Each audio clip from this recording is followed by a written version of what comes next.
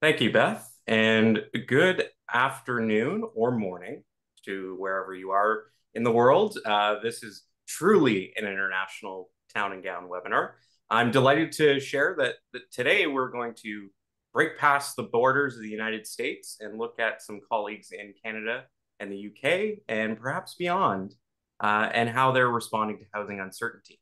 I'm going to hand it over briefly to uh, the president of the UK Town and Gown Association and the vice chair of the International Town and Gown Association, Cooper Healy, to uh, give us a quick introduction to ITGA, UKT, UKTGA, and uh, the partnership there.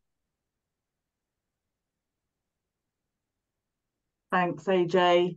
Um, yeah, good morning, good afternoon, good evening, depending on where you are, and welcome uh, to this international uh, housing webinar uh, brought to you by the International Town and Gown Association. And I think there are some of you on the call uh, today that um, are perhaps new to the ITGA. So um, just please allow me a second to let you know all about the fact that it is a premier resource for addressing challenges, emerging issues and opportunities between and amongst institutions of higher education and the communities in which they reside. Um, ITGA does pretty much lead on the town gown forefront um, and it is my absolute pleasure uh, to be a an executive board member of the ITJ and also the co-chair of the international uh, committee. So AJ and I are here really trying to put the I into ITGA, and so we're delighted to bring you uh, this this this day. Um, the first of what we hope will be a series of international housing webinars uh, bringing you speakers from different corners of the universe uh, to uh, address the subjects of the day, the issues of the moment, the zeitgeist when it comes to the work that we all do uh, out there in town and college uh, settings in our local communities. So I'm really excited to hand back over to AJ, we, who is going to take us uh, through uh, the, the speakers that we've got lined up for you today. Um, we have built in some time for Q&A towards the end of the webinar. So please do use uh, the Q&A facility. Um, introduce yourselves if you would like to on that, if you have the facility to do so. If not, and there's a burning question or comment that you'd like to make to one or all of our speakers, then please drop that in the chat and we'll moderate that once the speakers uh, have completed. Thanks very much for your attention. Over to you, AJ.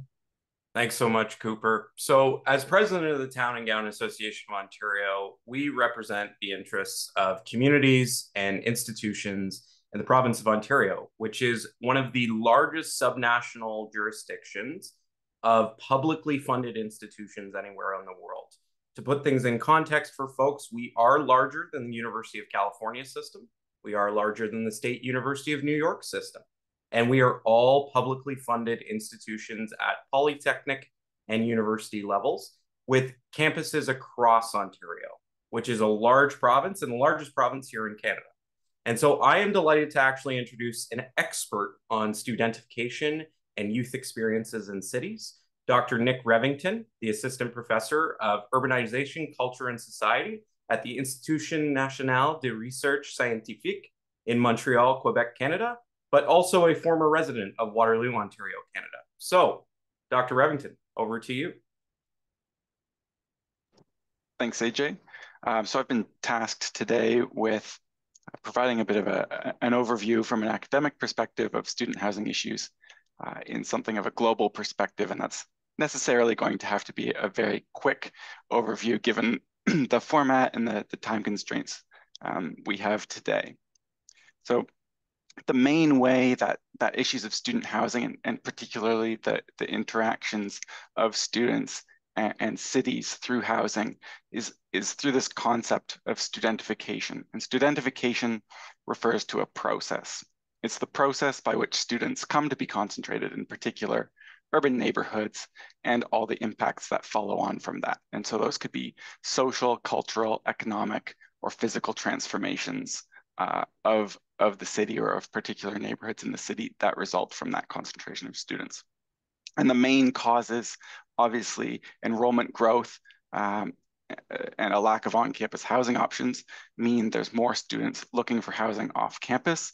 Um, but I think it's also important to recognize these other dimensions that can profoundly shape studentification and, and, what that looks like, the extent to which students may be concentrated in a city. So that's, you know, landlords and developers, for instance, might uh, specialize in uh, providing housing to students, whereas others uh, might not and, and might in fact discriminate against students. And, and that could have an impact on where students uh, live in the city. Municipal planning and regulations we'll see uh, later, Tanya's uh, presentation, I'm sure. We'll get into this, but the way cities regulate rental housing, the way they zone uh, permitting higher density residential uh, developments that could could accommodate purpose-built student accommodations, for instance, that's going to also shape how and, uh, and where students live in a city. Um, next slide, please. And so looking at this um, in the, the US, the UK, and, Canada, um, much of the, the, the, discourse and much of the academic research is looking at uh, the issues that arise from studentification and how do we manage those impacts on on the broader community. And I think those impacts are going to be familiar to the people in the in the web, webinar today. Uh, on the on the slide are, are three examples that are all from Canada, but I could have just as easily found similar examples from the US or the UK. You know, so things like partying and, and noise and you know the the sort of detritus that's get that gets left behind every time um, students move out at the end of the academic year. And so um, more recently in these contexts and some others, we see the emergence of, of private purpose-built student accommodation, which on the one hand tries to uh, create a, a, product oriented to students as consumers that's more suited to their needs, but also um, in some instances, this is actually promoted through municipal policy or, or at least in, in local discourses as a way of trying to avoid these issues um, by um, creating a space for students to live outside of, of other um, established neighborhoods. Next slide, please. I want to contrast those with some, some other international contexts that are, are quite different. So on the left here is uh, a photo uh, from Concepcion, Chile.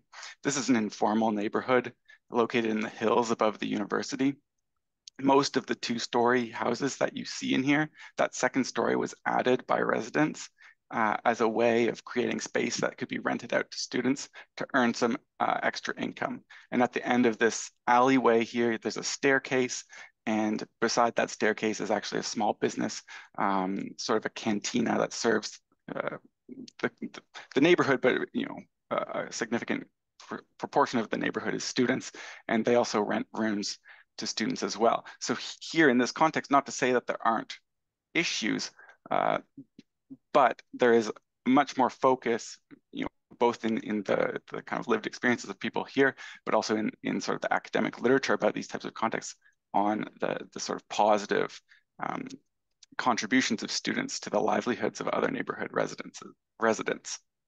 Um, on the right is, a, is, a, is an example from China, and this is quite different. In, in most Chinese universities, uh, nearly all students are required to live on the university campus, and those who either don't because they kind of break the rules or they're uh, exempted for various reasons, for instance, they're married, um, they're housed uh, sometimes in these this is kind of, kind of an informal mode of construction that, that urban villagers build these apartments to house students. And so again, this is not the same as the purpose-built student accommodation we're used to seeing in North America or, or Europe.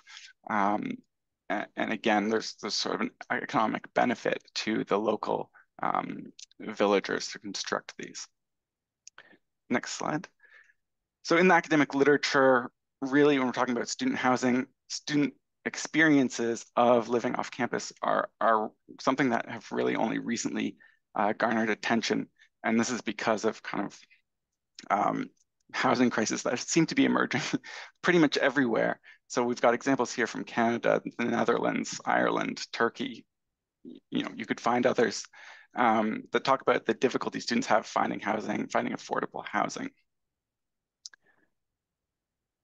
but I, I, think it's also important to think about um, studentification, so again, the concentration of students in particular neighborhoods and the risks and opportunities that that can pose for students. And so from a risk perspective, kind of counterintuitively, but studentification can, can actually kind of reduce the supply of housing for students and lead to increasing rents. And this is because as a particular neighborhood comes to be recognized as, as the student area, um, uh, students might not be as, as likely to look beyond that area. So, you know, the housing supply hasn't necessarily changed, but the, the perception of it has. And so, so that can kind of have the effect of, of seeming to reduce supply. Uh, if a neighborhood becomes effectively an annex of the university campus, I think we, we should be concerned about what that means in terms of the connections that students can build to the broader community. And then finally, I put a question mark on this one. Oftentimes, studentification is associated with changes in the commercial activity in the area. And so if that's uh, you know, more bars, more fast food options, uh, increasingly in some contexts, um, cannabis retail, what impact does that have on, on, on sort of healthy living? On the other side, in terms of opportunities, I think it's important to recognize that um, students have a, a strong sense of security when they live around other students. I think it's important to recognize the opportunities for socialization with other students. Now, obviously, that can sometimes get out of hand, and you know there can be behavioral issues that occur. But I think we we can't throw the, the baby out with the the bathwater, um, so to speak, in in recognizing the importance of, of socialization between students. Finally, again with a question mark, could concentrations of students near campus favor active mobility, perhaps favor um, a more robust public transit network? Those things would both um, contribute to students' well-being, but might also have positive spillovers for the, for the rest of the community. And so with that, I'll leave it there. Um, uh, thank you very much for your time. Thanks, Dr. Revington. And I want to thank you for providing a really great overview for our audience of studentification around the world and some of the risks and opportunities that there are with this phenomenon. So I guess it's more than perfect timing now to move into an excellent case study of studentification on the ground. And I'm excited to introduce the Senior Policy Planner for the City of Waterloo, Tanya Kurik, who was also responsible for uh, many of the policies and initiatives that are found in the City of Waterloo related to the Northdale uh, Master Plan and Secondary Planning Area, as well as the student accommodation strategy that is currently under developed or under development. So uh, not underdeveloped, it is under development. Uh, so Tanya, uh, take it away. Thanks, AJ, and hello, everyone. I'm so glad to be here uh, today uh, to share with you our experience at the City of Waterloo in terms of student accommodations. Next slide, please. So for those that you, uh, you that might not be aware, the City of Waterloo, we're located in southwestern Ontario, uh, Canada. We are one hour away from Toronto and a relatively easy drive, uh, you know, to, to the US. We're a mid-sized city. We have a population of about 150,000 people, and we're home to three post-secondary institutions, the University of Waterloo, Wilfrid Laurier University, and Conestoga College. And there's about 81,000 students enrolled at these three institutions, recognizing that many of them require housing uh, when they come to study here. Next slide, please. And this is just a map of the city. Um, as you can see, uh, the location of our three post-secondary institutions. Interestingly enough, they are located five a five-minute drive from each other. Um, and they are surrounded by our near campus neighborhoods, Northdale being the most prominent of them. Next slide, please. So at the City of Waterloo, we strongly value um, the asset that community uh, that students are to our community. They are a tremendous asset, and we've long recognized how important good housing is to student health, uh, well-being and academic success. So the importance of enabling and facilitating housing is super important. One of the interesting things is in Canada, legally, there's no such thing as student housing uh, because under the laws of Canada and Ontario, students similar to any other demographic have the ability to reside in any accommodations. So even though for the presentation, I am um, referring to student housing, really what I'm referring to is housing geared towards students or oriented or centered around students. Next slide, please. So starting in the mid 2000s, um, the city of Waterloo uh, undertook a heightened density study and upzoned a series of nodes and corridors, uh, largely major arterials, the edges of some of the neighborhoods, to allow for higher density development. And this was in recognition of the fact that we were experiencing significant population growth, which included students, as well as we were experiencing a diminishing vacant uh, land supply. At the same time, in our city uh, official plan, which is the long range plan for our city, how it's going to grow and evolve, we recognize the importance of providing housing uh, for users of our post secondary institutions. And the plan specifically uh, encourages the location and construction of that housing first and foremost at the main campuses of the institutions. And then, secondly, um, in our designated nodes and corridors that are in close proximity to the main campuses. Next slide, please. So this is a, a, one of our older maps of our nodes and corridors framework when it was first implemented. Um, and um, the three institutions are located um, kind of in that in that center area. And what you can clearly see is there's a series of nodes and corridors, uh, you know, in that regard directly adjacent or very near walking distance to the three institutions. Next slide, please. So in terms of our nodes and corridor strategy, you know, uh, despite um, that strategy and trying to kind of direct where intensification was uh, going to incur, um, our neighborhoods, especially our near neighbor, uh, near campus neighborhoods, started to experience um, significant, you know, uh, student uh, growth, um, not just on the edges where we were kind of directing and hoping to have that intensification, but also in the interior of neighborhoods. Um, and this was largely due to increasing enrollment at our three uh, post-secondary institutions, as well as more and more students um, looking for housing off campus. Next slide, please. And as a result, um, what ended up happening is uh, we ended up actually re-urbanizing um, our most prominent uh, near campus neighborhood, that being Northdale. And in 2012, uh, Waterloo City Council approved a new planning framework, which essentially allowed for intensification and mixed use throughout the whole entire neighborhood. So if you look at the map, um, with the kind of dotted line, that's our Northdale neighborhood. And just to give you a sense of the scale of intensification, the white area allows for six-story development. The orange area allows for eight-story development. The blue area allows for 12-story development. And the chocolate brown allows for 25 stories. And as I said, uh, we have facilitated and, enabled uh, intensification throughout the whole entire neighborhood. Next slide, please. And uh, since the implementation of that framework, um, the neighborhood has experienced significant development, intensification, um, and uh, redevelopment, and uh, such that we've had over 5,000 units built, um, about 7,850 beds, um, 390,000 uh, square feet of non-residential space, largely commercial and retail, and over $1 billion in building permit activity. Next slide, please. But neighborhoods are not just about, you know, intensification and accommodating population growth, whether or not that's, you know, uh, families, uh, seniors, or students. Community infrastructure is absolutely critical to support uh, increasing population. With that in mind, uh, we have created two parks in the neighborhood. We've also been um, creating walkways to break up uh, a number of our larger blocks to facilitate movement within the neighborhood. And we've also commenced on doing a number of streetscape improvements um, on the streets uh, in that neighborhood um, in order to support a more walkable, uh, transit-friendly uh, neighborhood. Next slide, please.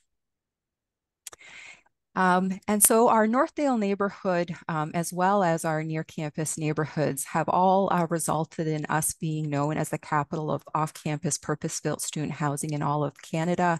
Um, this largely stems from work that actually Dr. Revington did, uh, where he ana analyzed this. And what we can clearly see is like approximately 50% of all the off campus purpose built student housing in Canada is located in the city of Waterloo. Um, and we are far above um, other municipalities in that regard. Next slide, please. But despite that significant construction of housing geared towards students that has been built off campus, um, similar to other municipalities throughout the whole entire country, we too are faced with a housing crisis. And it's not just impacting students, it's impacting every single demographic. And that's shown here in terms of um, the rental market statistics we have for our city, which shows we have low vacancy. Next slide, please. And escalating rents, particularly for units that are available um, or vacant and are able to be rented out. Next slide, please.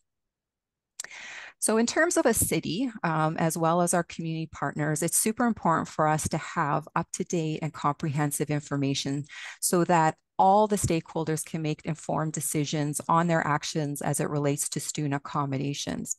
As previously mentioned, legally there's no such thing, um, or technically there's no such thing as student housing.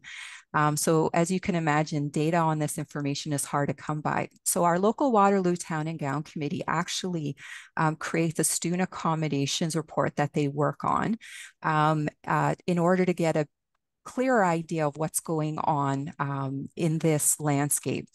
And we just recently um, released, um, the committee recently released their third report. Uh, it went to Waterloo City Council in September, and it focuses on three areas, student housing supply, demand, and the results of a student survey. And I'm just gonna highlight a couple of those key findings. Next slide, please.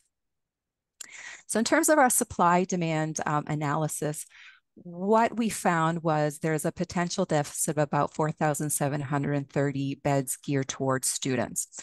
Um, I will note a couple of things. Um, there are some limitations with the data which are referenced in the report. Um, but what we can clearly see is the number of tenants looking for accommodations outnumbers the number of on and off campus um, accommodations that would be available to them. I will note that this information does not include about 4,600 beds, which are currently under review in the development department and will be potentially coming downstream, hopefully um, sooner rather than later. Next slide, please. In addition, uh, we administered um, a, as a committee um, a survey to students uh, to understand their housing expectations, satisfaction levels, and their experiences. And some of the findings that stood out to us is while many students were satisfied with their accommodations, uh, many are finding it hard to secure housing, particularly housing that meets their needs. Uh, as we can see here, 63% uh, of students said they found it difficult to secure housing. Not only that, um, people are paying, or students are paying more than they have expected. So only 42% said their living expenses were expected. Um, the rest identifying that it was more than they had expected. And rents have almost doubled since our last report in 2017. Next slide, please. In addition, we asked students uh, to identify whether or not they felt they had been significantly impacted by housing costs within the last year. Of those that responded, about 50% said they had. And these are the areas where they identified they had been impacted, recognizing that students could select all that apply. And what we clearly see here is one, students are um, settling for accommodations that don't meet their needs. Um, it's impacting other areas of their life, uh, such as food, and, and they're having to make certain trade-offs. Um, some have been provisionally accommodated without security of tenure, for example, couch surfing or living in short-term rentals. And some within the last year didn't even have that. Next slide, please. Um, so in terms of um, kind of a little bit of an overview, as noted, we here at the city, we know how important good housing is uh, to the success of our students, and we want our students to be successful because we hope many of them will decide to remain here after they graduate and take up permanent residency. Um, as noted, uh, the City of Waterloo, we're known as the capital in Canada of off-campus purpose-built student housing. However, um, similar to elsewhere, we're also being impacted by the national housing crisis. And at this time, there is a deficit of beds available to our students, recognizing we do have a number of applications that we are working through the development process. But as noted, you know, accommodation costs really are impacting students and they're finding it difficult to secure accommodations that meet their needs. And, you know, as a town and gown committee um, a member, um, as well as our larger town and gown committee, you know, all of us, uh, not just the municipality, but the institutions, lenders, um, everyone has a role to play, and it will take all of us working together to tackle this important issue. Uh, so thank you very much. Thank you very much, Tanya. And I really want to thank you for sharing what I think is you know, the most intense form of purpose-built student accommodation development we've seen in Canada and maybe around the world. And even still, uh, there is uncertainty and there is challenges in housing all the students in these institutions. And so um, it's really great to see that the Town and Gown Committee is is so committed to studying student accommodations and developing a strategy to move forward. Um, and we're really excited to see where that strategy goes in the next year. So thank you for sharing. All right. Um, so I'm happy to now bring it uh, to the other side of Toronto, about two hours up the highway heading towards Montreal, to the beautiful city of Kingston, um, which is the 24th largest uh, city in the country and home to three institutions, notably Queen's University, St. Lawrence College, uh, which is a community college, and the Royal Military College of Canada, which is a university specifically dedicated for the training of officers and specialized technicians in the military. Um, these are all located within the core area of Kingston, so the existing developed area, uh, posing some really interesting challenges around uh, taxation and providing city services. Um, and I'm really excited to introduce today Councillor Glenn, uh, who represents the district surrounding Queen's University and uh, also uh, heavily involved in the city's town and gown activities. So, Councillor Glenn, could you tell us a little bit more about what is so exciting about Kingston as a town gown community? Thanks, AJ. And uh, I'm thrilled to be here and, and become involved in this conversation. So, uh, as you said, uh, what's what's interesting and what's unique about Kingston? Uh, Kingston, I think, for student experience, has been rated very highly, and that's really due to our geography. We sit right on the water. And what we hear repeatedly and what we've seen repeatedly in studies is that students love the outdoor life that's available here. They love the easy access to downtown, uh, access to the waterfront. So, in that regard, we, we are a city that has a lot that's available to our students. However, the pressures are enormous. And so you sort of alluded to that as you introduced this.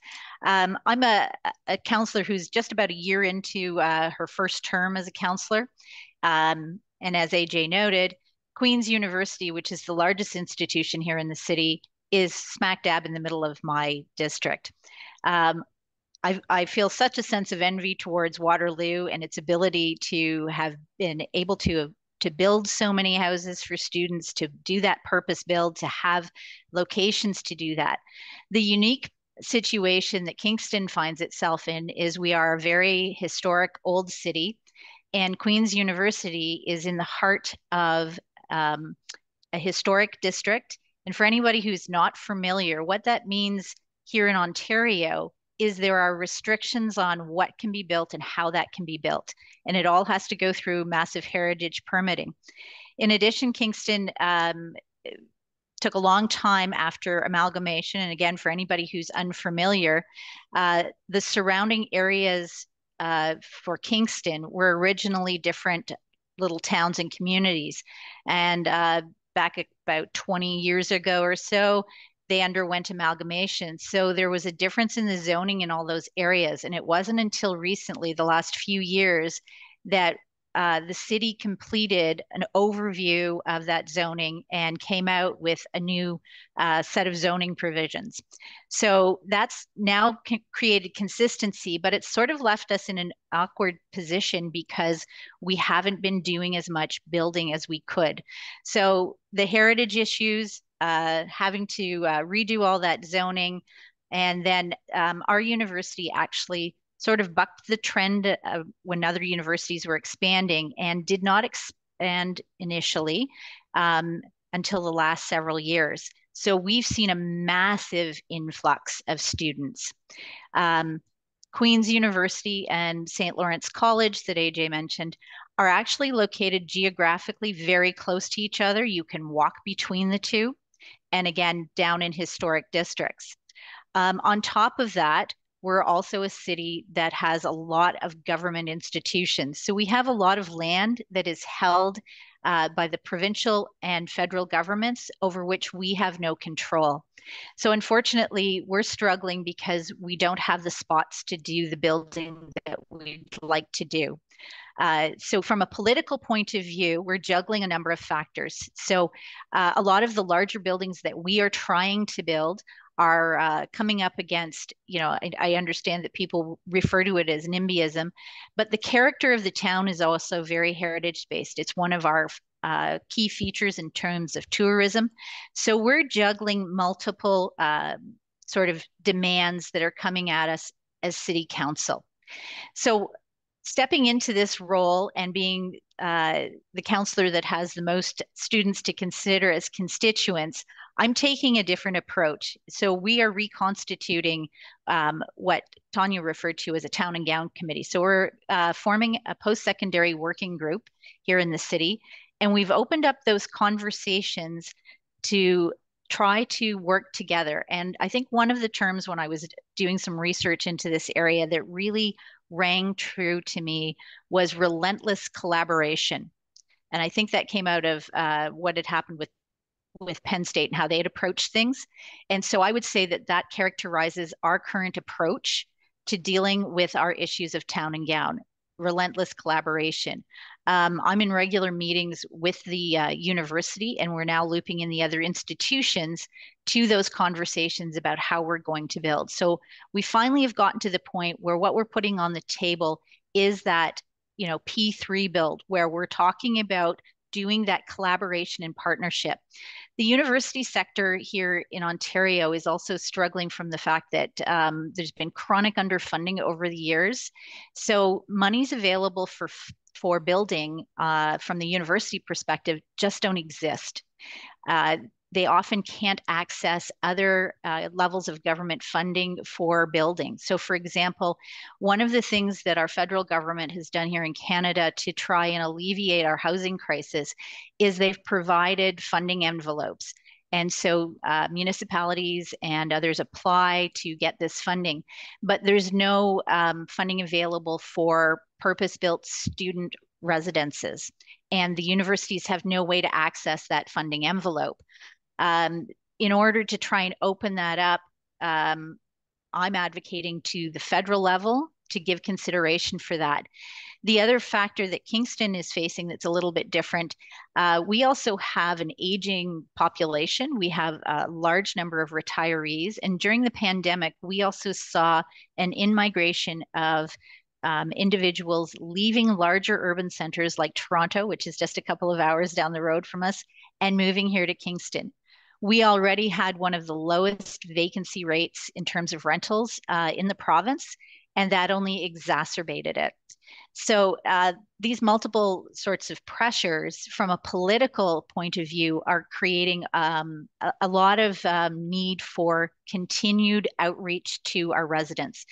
So one of the things that we're also engaging in, a number of other councillors have been doing this, um, large number of town hall meetings with our residents. So I think it's really important to uh, dial down the rhetoric that we hear going on between regular residents and the student population. Um, it's, in my opinion, from what I've seen here, created a situation where we're not actually getting down to providing solutions. So we're changing that conversation by bringing the groups together, by bringing the residents in and having the informed discussions around what's happening with the students. Uh, so we've already heard about uh, the increasing uh, cost pressures on students and how that's impacting their ability to be successful in their educational pursuits. Um, I think it was heartbreaking to me to find out that one of our largest food banks sits on the university campus. So we have students struggling just to be able to um, have have a, a, good meal every day. Um, so with that in mind, we recognize that we have to find a way to bring the costs down. Um, our student housing costs are really high, um, you know, and I, I like to speak to the personal aspects of this and the interactions that I've had with my student constituents. And that's one of the things that I've emphasized in redefining the relationship that we have here in Kingston with the students. When I campaigned, I actually campaigned to the students. I was advised not to waste my time, not to go there because students wouldn't vote. And the perspective that I took was whether they decided to vote or not, at the end of the day, they were still going to be my constituents. They were still going to be the responsibility um, of the city because they live here. So, with that in mind, um, we've done much more outreach. And uh, during our move in period in September, a number of the downtown councilors went to uh, the university sidewalk sale. We set up and we spent the time interacting with that student population. But going back to that personal touch, those students came to us and the needs that they expressed were enormous. So I think it's contingent upon any of the municipalities that have student residences that they recognize those needs and start to work towards addressing them. So I had a student come up to me who was already, you know, enrolled, ready to go to school, had not yet found a place to live and didn't know how to do that. He was couch surfing. Um, he was practically beside himself, um, you know, and he was a really bright young man. It wasn't for lack of ability, lack of effort on his part, but by doing that outreach, he had somebody to talk to who could help guide him through that process of where can I go to find a place to be and that's one of the biggest things that uh, I think we've been trying to do is is um, move towards greater outreach. One of the other initiatives that uh, I've recently launched um, at Queen's University, they are building a new student life center. The city is committed to setting up a permanent spot in that student life center so that there will be constant contact with the student population um, in a place where they come to regularly. So they don't have to seek us out in quite the same way. Uh, so I think when we're looking at housing and um, giving consideration for how we're going to do this, it's about building those conversations. Uh, so we're really in the initial stages. Uh, in terms of that bigger conversation, but we're laying some really good groundwork. And uh, again, very envious of what's going on in Waterloo. We do have a large um, sector of our um, city that doesn't have property on it, but it sits above one of our major highways and getting services to it. So getting that basic infrastructure to it is cost prohibitive. So we unfortunately don't have the ability to very easily and affordably build uh, another district. So that's one of the major challenges we're also facing. Uh, but we're hopeful. Uh, the conversations have started. The university does have some spots uh, that we think will be able to uh, potentially assist them in building. Uh, but again, relentless collaboration, and we're hoping that that uh, gets us moving in the right direction. Thanks so much, Councillor Glenn. And I think you've provided a really interesting perspective and particularly some really interesting and unique ideas about um, locating city offices within a student life center, uh, really pursuing that relentless collaboration, um, which I think you know will work exceptionally well in the Kingston uh, Queens St. Lawrence College in RMC context. So looking forward to further working with you and uh, seeing how the town and gown story continues um, onwards. Okay, so I'm uh, super happy to bring in now uh, someone from across the big pond um, over in the UK, uh, Richard Stott, um, who is, uh, you know what, executive director of uh, Kexgill Developments, but also my understanding is just a really interesting town and gown character over there with Cooper. And so, uh, Richard, how about you take it away and, and share with us um, some of your work across the way? Yeah, thanks very much for the introduction. Um, I'm the group managing director of the of Kexgill. We're in nine UK cities, are in Germany as well. We're a completely private company. We have no external shareholders. So what we do, we can do which does differentiate ourselves from listed companies and probably private equity. Um, this is one, I'm going to talk about one of our um, investments, which is the University Quarter in Kingston upon Hull. We bought 200 houses, cluster houses from the university and spent an awful lot of money on them. Um, we also also had three halls of residence next to the university campus already. and so that means, which is quite unique anywhere, that a private company like us owns 97% of everything adjoining a campus. It's all under one ownership, which is quite responsibility. We also have, you see by the picture, a kiosk and a tuk-tuk. Everybody has a tuk-tuk. And there's just an example of a, a street food party that we had in October to welcome first years. Have the next slide, please. And that says there it costs time and money, and it does. I mean, that's the difference between us and private equity is that it's not a five-year plan, it's not a 10-year plan. This is a forever plan. Whatever we plan for, we plan for it to go on and on and on. Uh, and that's art on the wall. We have art trails. That's lighting for housing, um, notice boards. And then the next slide will have a bit more detail. All of this presentation, my short little presentation, is available. I'm quite happy to share it, and I'm quite happy for people to email me, and I'll always reply. Um, off campus, the dream that is this is the dream a semi-public place where you can just stroll along happy um, looking in the sunshine but that doesn't happen in the uk much uh, and just pass the time of day. Um, the things that have really worked for us we've done all of this. Everything in this slide we've done. From 2018 when we started buying the houses and en suiting them etc we've done all this. We paid for the roads to be and the bit i'll tell you the things that have really made a difference but people don't really notice is that we reduced the cars in the area. We paid for the local authority to put speed limits to put speed bumps to make it a nicer walk um, for students to the because this is the main walkway into the campus. So reducing cars was a brilliant thing and that has absolutely worked and another thing that's worked is that we put closed circuit TV, external closed circuit TV in the whole area, along with sign, along with signage.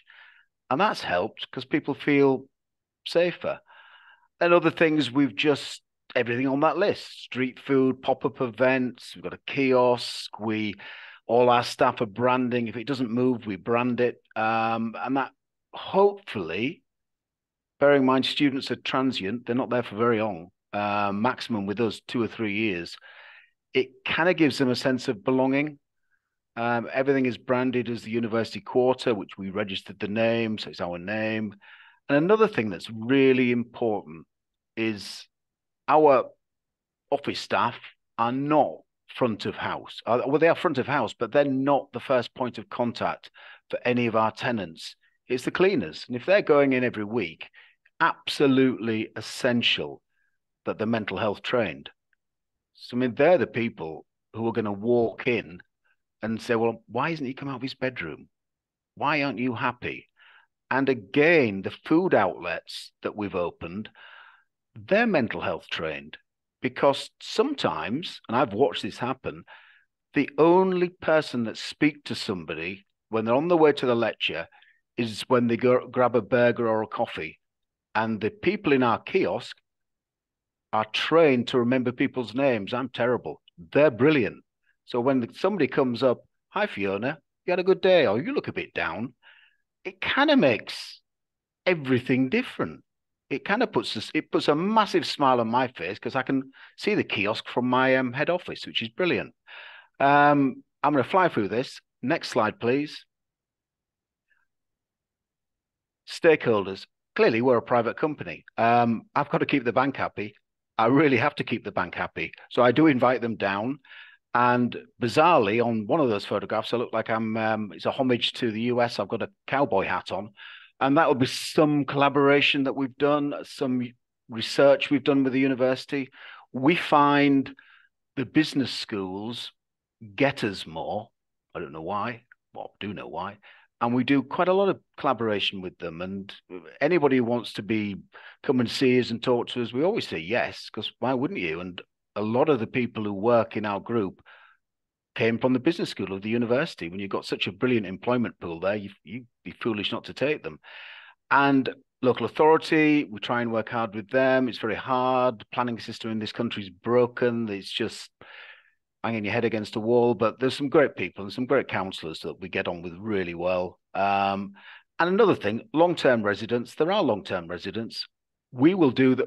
Repair their gutters. We will invite them to our parties. They don't always want to come, but they really like it to be involved. And they really like to be involved with international students in particular, because they just they they love living in an area which is vibrant, full of students. Um, next slide, please.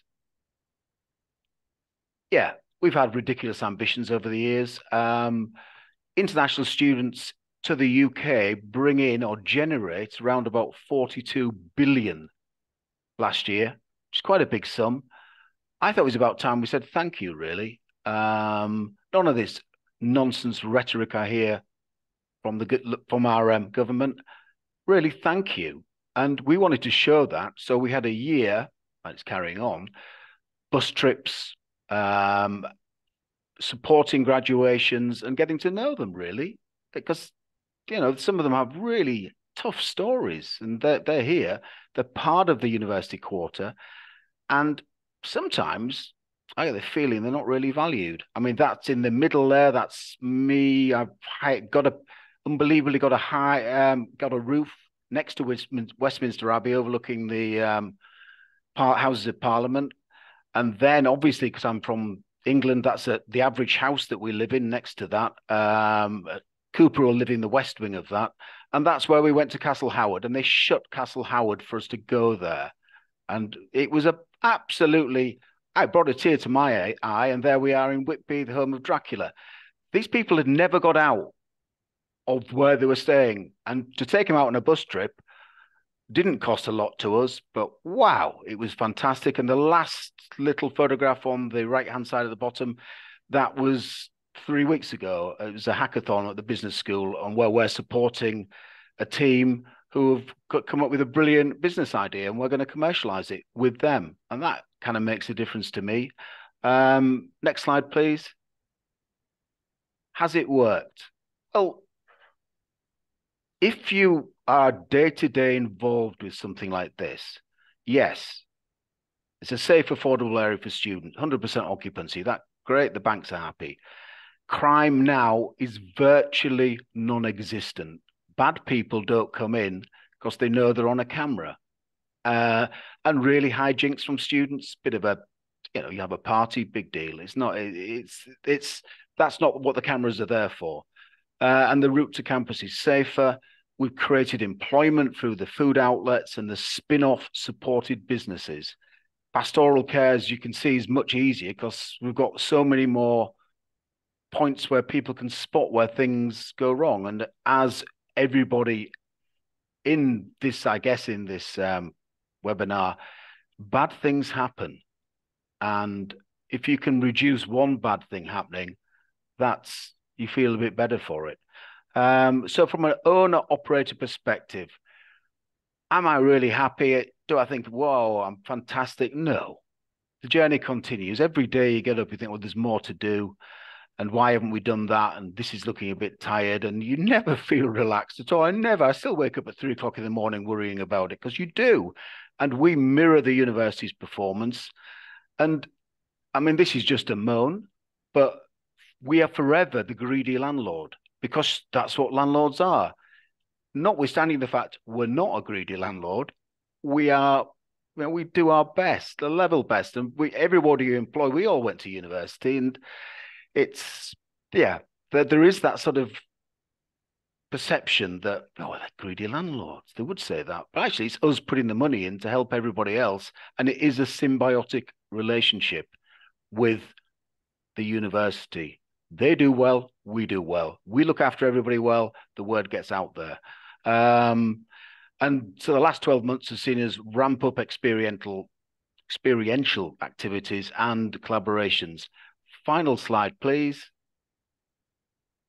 Thank you. Um, anyone can email me. Anybody can have the uh, presentation. There's a selection of photographs there, and it, we love doing what we do. And it's just I don't know if we're unique being able to buy 97% of everything next to a campus, but in other areas, we're also doing similar things. And a lot of this is born from our adventure buying stuff in Germany, which has given us experience. So thanks very much for listening to me. Thanks very much, Richard. Um, really fascinating project and and really development that you're leading there, um, as well as I think you know expanding um, into other uh, communities around Europe. Um, and what I'm really fascinated about is we've seen all the way from informal community organizing around providing student housing in Chile that Dr. Revington talked about. We've talked about where government kind of uh, oversees and, and controls private development in an area, which we've seen in Waterloo. And now all the way to where a private actor has come in and transformed an area to support student housing. So really, I think you know we've covered sort of the gamut of option options for um, creating student neighborhoods. So now I'm excited to jump into three prepared questions that uh, were provided to our panelists before time. And uh, I encourage people to keep putting questions and answers in the chat. Um, thank you to our panelists who have been answering them as they've come in. Uh, we may answer some of them live, but I think I'll also just keep letting people type up their responses because uh, that's often a lot more personal and direct way to, to address a question. Um, all the slides are going to be made available after the presentation with a webinar recording, so not to worry about those. Um, Beth will get those posted up. And uh, I guess to dive into things, um, the first question here that I've, I have, folks, is where have you seen the most success in creating healthy, thriving, and vibrant communities for students, faculty and staff, and host community members? And also, where have you seen it go wrong? And how would you have corrected those issues? And maybe you've already corrected them. I think Richard's probably definitely seen things go wrong in the past and have had to introduce some corrections. Um, but I'm also interested to hear from other folks of, of where they've seen things go right and things go wrong. So, anyone want to dive in first here? All right, Richard, how about it? How about I jump to you? Yeah, I'm I'm happy to say where things aren't quite right, and I'll just talk about the one outside my office, which we own 97%. It's a very tightly defined area, so next door to it is private housing. They they despite students being in this area for 70 plus years, they say, "Well, I don't want students there." And they and that you we even though the area's improved, there's less crime we still get them tapping on the door saying, well, there's a party last night and look what they've done. Um, but what we counter that, we said, well, come to our parties. We're having a barbecue. Why don't you come along? Why don't you come along to last week's dog cuddling, which is bizarrely very, very popular, incredibly popular in the UK. God knows why. Um, but um, and also popular here in Canada, so don't feel alone, Richard. Don't really. don't get it. Um, but yeah, that's that is um, inviting them and then there isn't just breaking down the barrier. There will always be some, and then you know, always be somebody complaining. yes, Dr. Revington. So you toss up. Sure. Uh, yeah, I guess I'm going to start with with the what goes wrong part of the question, and I think for me, one of the examples here in Canada is um, here in Montreal, the University of Montreal recently opened a new campus kind of right in the, the center of the island of Montreal. And it's adjacent to Park Extension, which for those who are unfamiliar is one of the poorest neighborhoods in Canada. It's a very ethnically diverse immigrant receiving neighborhood, um, but, but quite a vibrant neighborhood. Um, when this campus was proposed, a number of members of the community and activists and, and, and academics raised a bunch of concerns about the impact this would have on like the campus that this is going to cause displacement as students are going to start to want to live in this neighborhood so that they're close to the to this new university campus. And this is quite a large campus um, development i should say. It's not just you know one building. It's like a campus. Um, uh, or that's the eventual plan is that's going to scale up. And the early the, the university's early plans included kind of recognized this and included a student housing component. And they ultimately uh, scrapped that and um, uh, instead what, what ended up being built was sort of private, um, kind of high-end uh, condominium apartments. And so I think this is a case where the university you know, like not only does the university's action in this particular case kind of run counter to a, a lot of the best practices that some of have, have been discussed here, but you know, in broader um, research literature on these issues, uh, the, the negative impacts that the community was warning about are already being seen and you know, researchers and activists have already pointed to increases in, in evictions and rents um, in the park extension neighborhood. So I think that's really was a missed opportunity to, to not do something um, a bit more uh, a bit more to kind of provide a dedicated space for students that, that could reduce the impact on, on this particularly uh, marginalized neighborhood. Um, in terms of successes, I think without a doubt in Canada, it's the Northdale neighborhood that, that Tanya talked about. Um, not to say it's necessarily perfect, but I think the things that are, are maybe wanting are things that are, are beyond Tanya's control, right? These are things that are beyond the scope of municipal planning. It'd be maybe nice, there is commercial space, but maybe it would be nice to have, uh, you know, a, a, grocery store, like a full grocery store more integrated in the neighborhood, you know, services that would, you know, attract other non-student residents. Like these are all things that are are not um, within Tanya's remit, but I think I think are things that would be nice to see. But it's definitely the the most successful case in Canada. Thanks, Dr. Revington. Uh, so, Councillor Glenn, thoughts here on this? So I, I, guess I'm going to speak to some things that we have had a bit of success with. Um, and, you know, going to what Richard had said about that pastoral care aspect, the inclusion in the community. So we've had a lot of really great grassroots things. So, for example, uh, neighborhood barbecues where the students have been invited and they're feeling included. When we went to that sidewalk sale, part of what we did wasn't just to talk about housing, but also to talk about what there was available to do in the community. At the time, we had an open farms event going on. And, you know, the minute we mentioned those things, students were all over, wow, that would be great to go to. And so this constant you know kind of outreach approach i think makes such a big difference in terms of integrating students into our community we're also of course concerned about retaining uh, students here in our, our districts and areas uh, because we've got workforce demands that we can't meet. Um, so we did a, an initiative here at the city to encourage students to stay during the summer season and work in Kingston. Um, it was highly successful in that we got a lot of students to stay. We didn't um, anticipate that on our uh, July 1st long weekend that we would end up with such a big student party, but all that being said, um, we saw it as a big success. So, you know, these are the things that I think ha have been beneficial. Um, I was really heartened to see the University of Ottawa. So, for anybody who's not familiar, Ottawa is just a couple of hours away from Kingston. It's our nation's capital. And they have some of the same town and gown sorts of issues, but the city's a lot larger. Um, and in and around the homecoming time, when traditionally universities have a major football game and there's usually a large student party, they the university took a different approach and embraced it, and they had a tailgate party, and that tailgate party included alcohol, but in a constructive way where there was oversight, where there were people there to assist and help and make sure that people weren't getting into trouble. So there was a lot of harm reduction. So I thought that was actually a major win for them this year. It cut down on policing. One of the other issues that we, we face with um, the sheer number of students in the city is when there is a party, um, that spills out onto our streets, our policing costs are huge. They're costing our small city one and a half million dollars a year. Uh, one and a half million dollars we could be putting towards so many other things. So we're trying to get a handle on on that.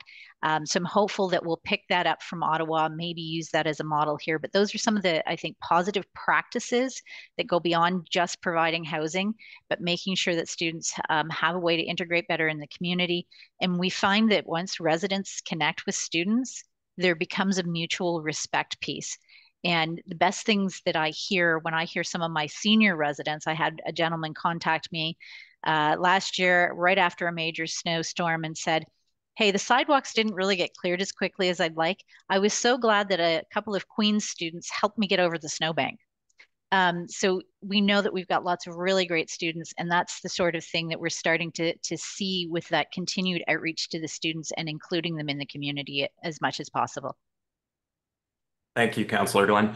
Uh, so, Tanya, uh, anything you'd like to add to, to, what folks have shared so far? I know Dr. Revington kind of called out some challenges in the Northdale area that um, you know we all know are a little bit beyond the remit of a municipal planner. But I'm wondering, from your perspective in developing the Northdale plan, what were some you know areas that you, you pointed to um, around the world to say, hey, maybe we can try some things here um, in Waterloo.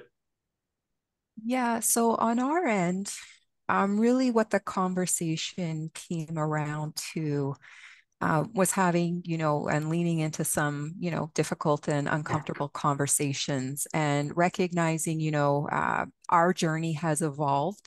Uh, particularly in years past, you know, we had tried the diversion and restriction and prevention method, um, and it really didn't help.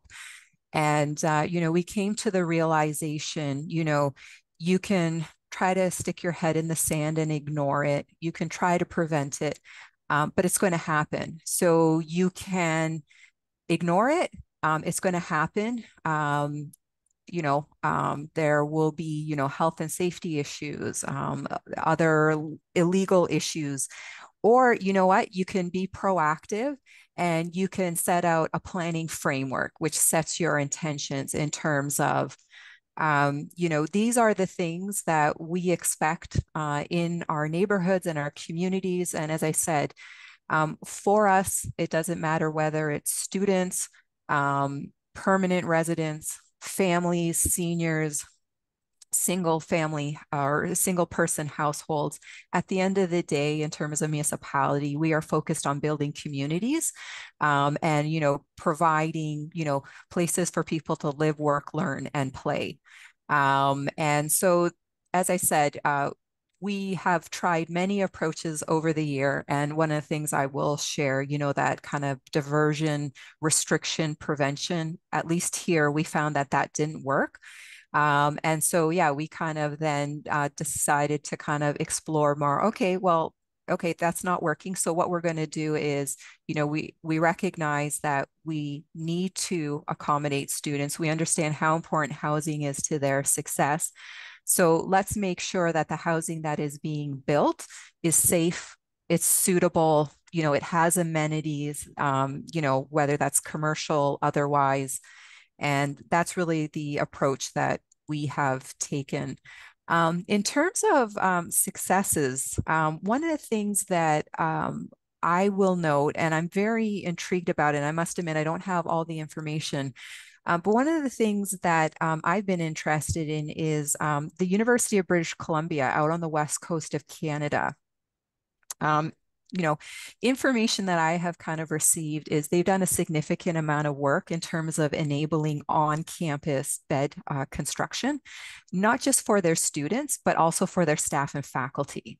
Um, and they have, I think, over 13,000 uh, beds to kind of support that. And that to me is very intriguing because I know a lot of the focus is on student accommodations, but oftentimes um, one of the things that we forget is there are people that um, help to run the institution, staff, faculty at all income levels, and you know the importance of housing to support them.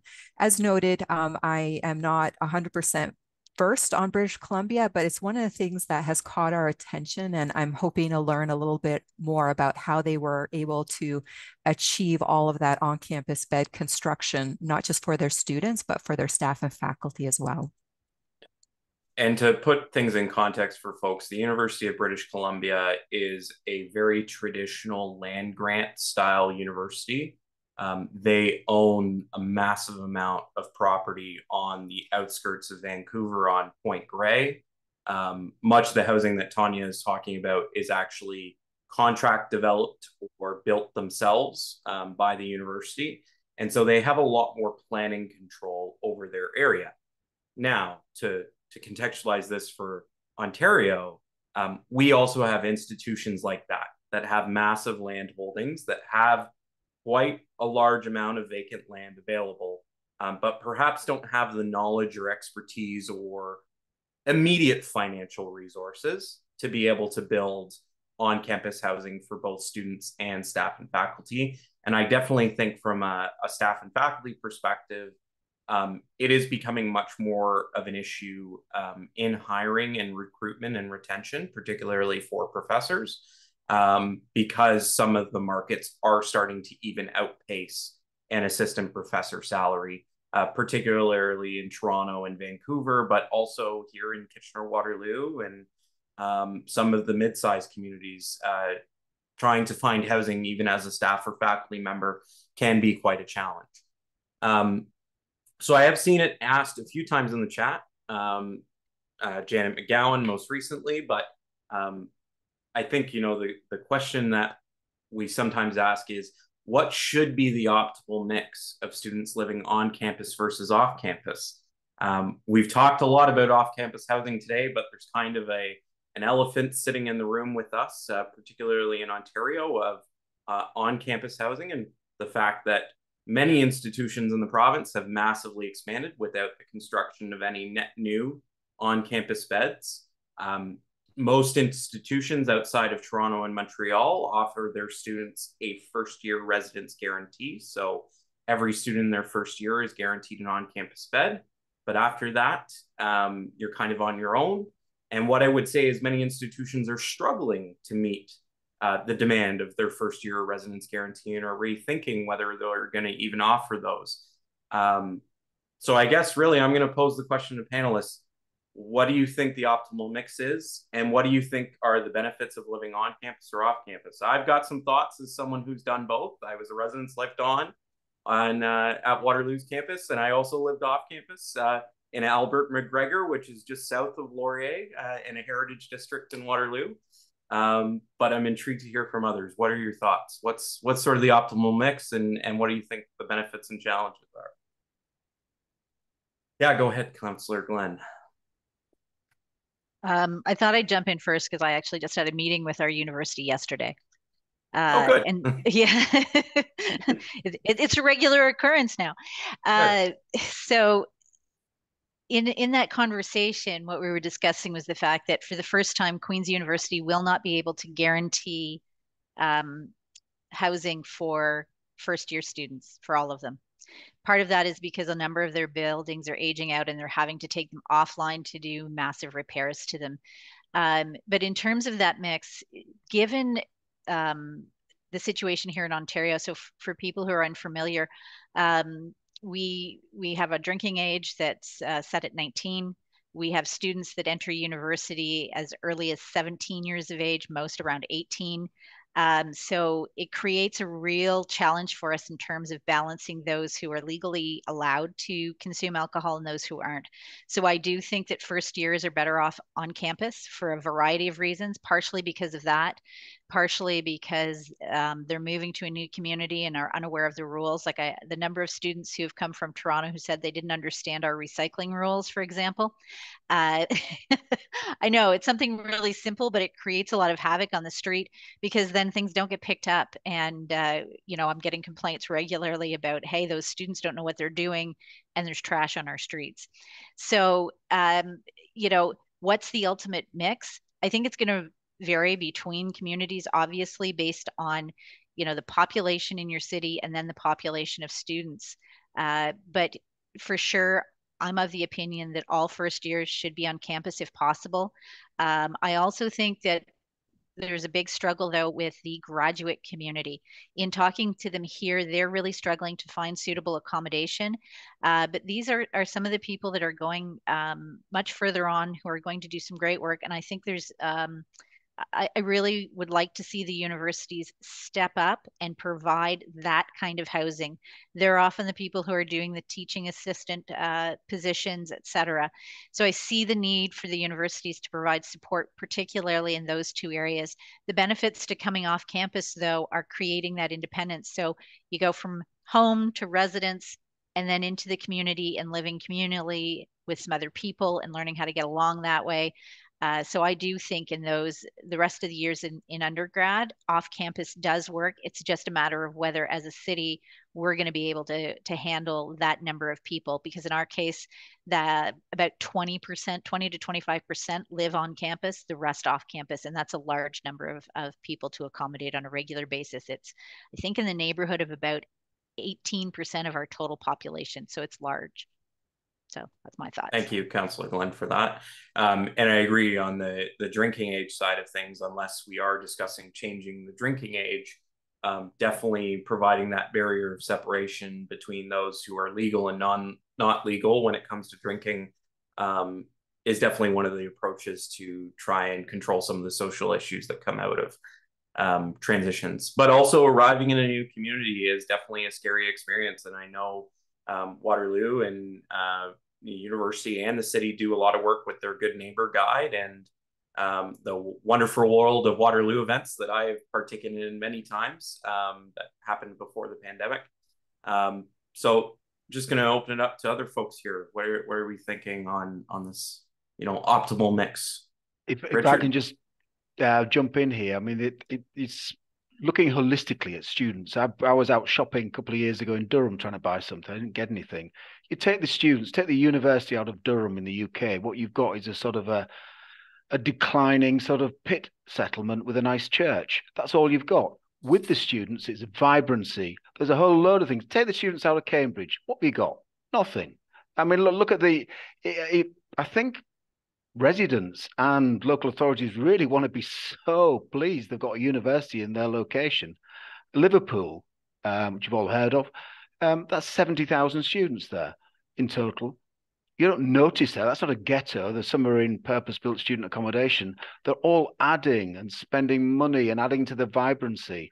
And that sometimes gets lost in a lot of conversations, uh, and particularly anybody who says, I don't really want any more students. And why? Don't you want them to spend money?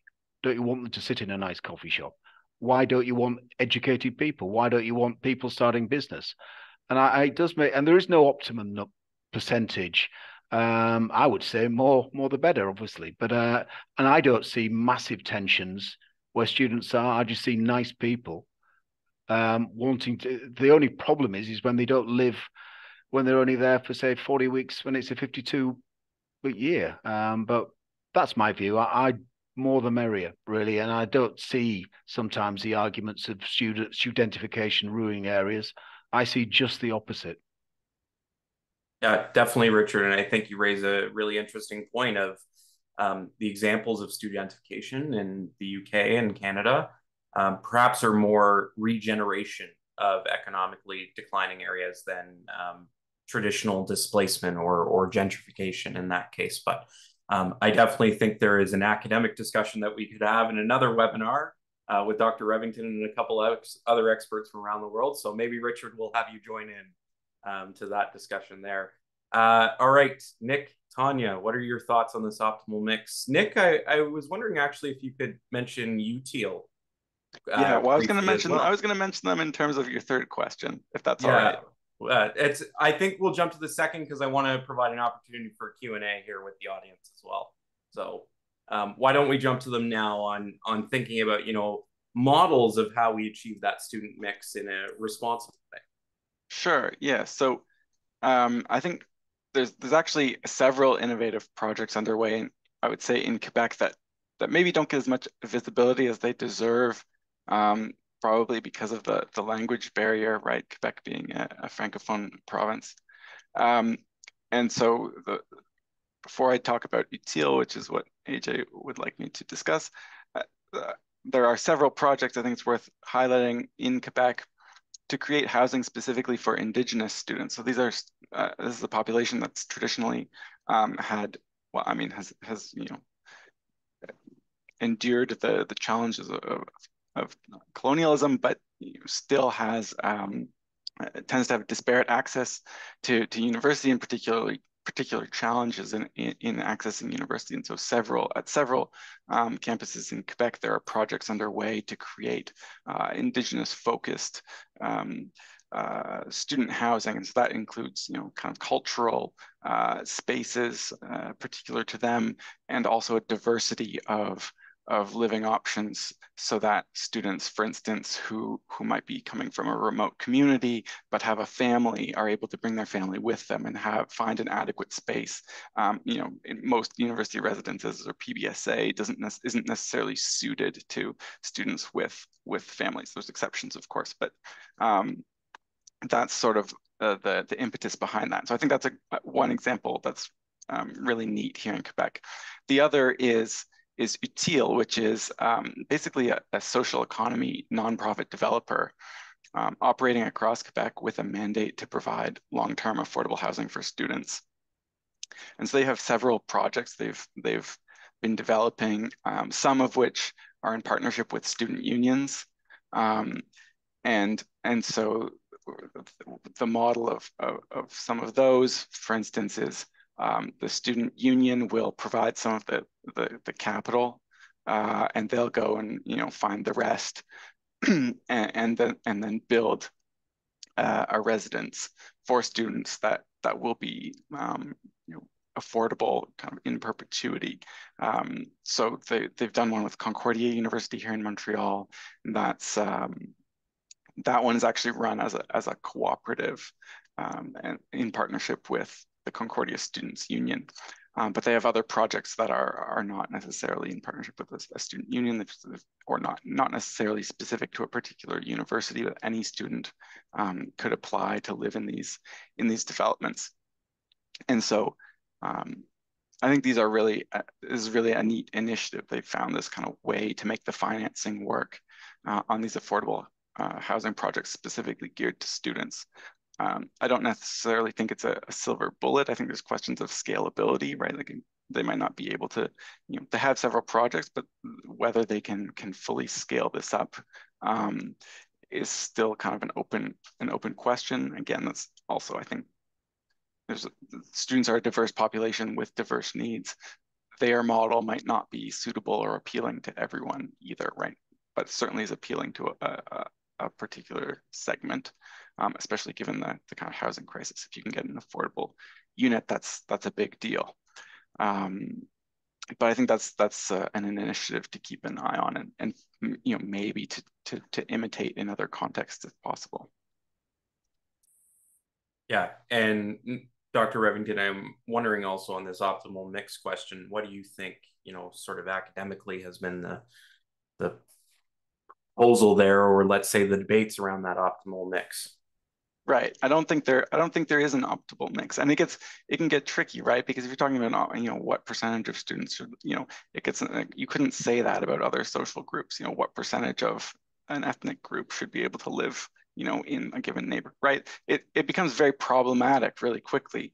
Um, but I think you know, just getting beyond that, I think uh, it, it, very much depends on context. Is this a university that primarily serves local students who are live with their parents and are commuting, uh, you know, downtown to go to university, or is this a, a university where you know Queens is you know it's a small city. There's very few students from Kingston who go there. There are, of course, but most of them are coming from Toronto or Montreal or, or where have you.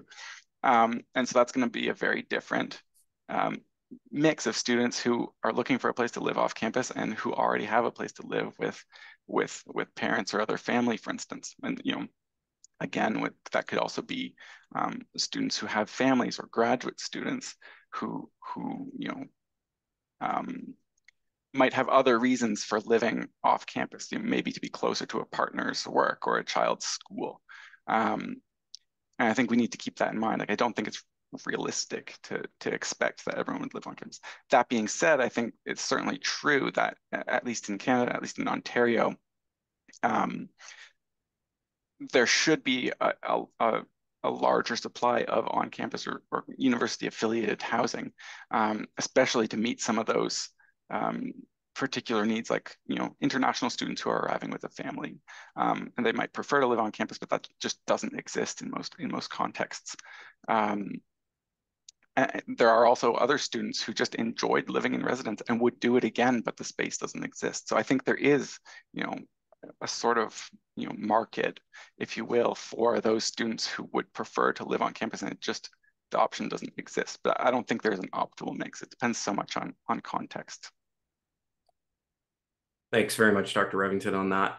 Um, just to highlight another co-op example in Ontario, uh, WCRI, which is um, just east of the University of Waterloo main campus, was founded in 1960.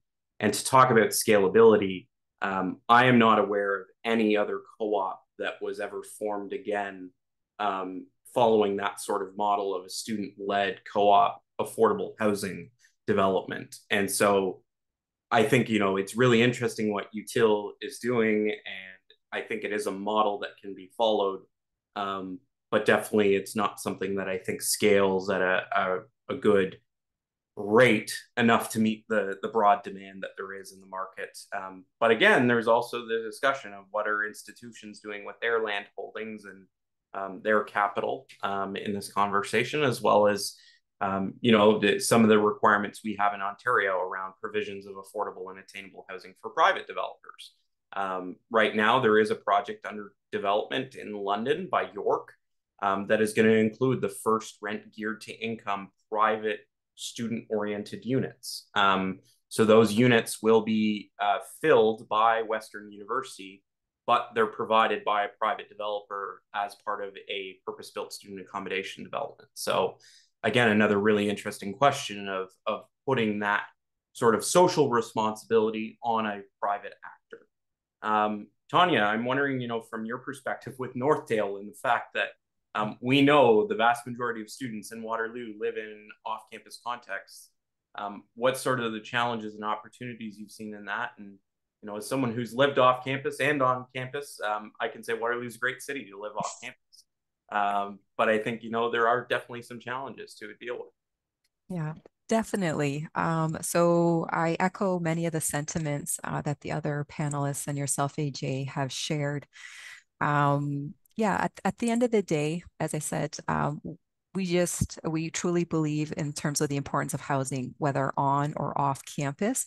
Um, as noted in my presentation uh, towards the beginning in our official plan you know we do have policy that speaks to you know as a municipality as a city um, our preference, first and foremost, is for accommodations to be provided on campus for many of the reasons um, that have been provided. And then, uh, secondarily, in terms of the community, um, as close as possible to the institutions. Um, a couple of things that I note, yes, we absolutely have, you know, growing challenges. One of the big ones being affordability. And uh, speaking, um, you know, as a as a planner at the City of Waterloo, um, one of our education pieces is as a city, we don't build housing. Uh, so, in terms of housing, we rely either on the institutions uh, to build it or the private market. When it comes to the private market, as a city, uh, we have very limited um, abilities to control that. So, we can't control the rents um, and and turnover and all of those things. Those things are regulated at a provincial level in terms of the province. So in terms of a city, while we would absolutely love to have affordable housing, um, there's really nothing within our capacity to require or legislate that. So all we can do really is to to encourage. Um, in terms of what the right percentage is, I'm I'm not as was noted, there's multiple factors to it my personal uh, my personal thinking is it would be great if all students who wish to live on campus had an opportunity. We know at this time that's not the case. Our two universities do have a first year, you know, guarantee. Uh, you know, we definitely see the value in terms of on-campus uh, residences, in terms of particularly for first years, um, as well as students who are new either to our city, to our province, or to our country, recognizing we have skyrocketing international student enrollment all across, you know, the country. And we know the challenges that come when people, you know, uh, residents come, um, especially from somewhere further away. Um, we also know in terms of on-campus housing, you know, they have dons, they have supports, they have programming um, and and whatnot to support students. In addition, in Canada, there's been some research that has been done by the academic community that has found that uh, students living on campus um, had uh, improved academic uh, performance than did students that lived off campus. Um, but as noted, you know, there's also tremendous benefit living off campus as well in terms of the independence, really getting entrenched in terms of, you know, the community. At the end of the day, um, you know, our, our approach is we need more housing on and off campus, and it's going to take all of us working together to tackle this huge issue. Thank you very much, Tanya, for that. And um, I think, you know, we're at 1255 here, so I'm going to wrap things up. I want to thank all the panelists here and the attendees for coming today. Um, I think we've had a very fascinating discussion about um, international examples of how student housing has been looked at and very much looking forward to keeping the conversation going. Um, I just wanted to have a couple highlights. For those in Canada, I encourage you to look at tgao.ca. We are based in Ontario, but we do welcome members from around Canada. So we encourage you to look at uh, joining us and, and joining our conversations. We have a monthly town hall for members across Ontario to discuss um, issues in their own communities and challenges that they're facing and sharing ideas about different policies in a uh, open but uh, closed off environment. So you don't have to worry about information leaking out of there. You can bounce ideas off that are very much early in development. Um, I also want to shout out the UK Town and Gown Association. Please uh, go to UK TGA uh, and talk with Cooper more about joining UK TGA if you are in the United Kingdom. And then, of course, Beth Bagwell and itga.org. Um, the International Town and Gown Association is a wonderful organization to join. And I will say TGAO and UK TGA are actively in discussions around how we can bring together this international banner and really start sharing information around the world um, in more settings like these. Uh, the other thing I want to call out is the International Town and Gown Association Conference is being held in College Park, Maryland next summer. Um, this is an incredibly easy destination to reach from both Europe and Canada. And we are excited to potentially see many of you there to continue these discussions, along with discussions about various other issues that occur on Town and Gown, as well as various other programs that are really positive in how people are looking um, to bring students into communities and create really healthy, thriving, and vibrant areas. Um, I also want to shout out our folks um, in the executive office, Beth Bagwell and Susan Stafford, uh, for all their support in organizing today. Um, so thank you very much, Beth and Susan. Uh, and uh, thank you all. That wraps it up. Um, and we will see you at the next event. Take care.